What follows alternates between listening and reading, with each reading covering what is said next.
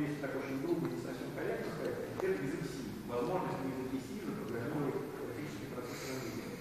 А графические процессоры AMD такой возможности не имеют. Нельзя на языке C программировать графический процессор AMD.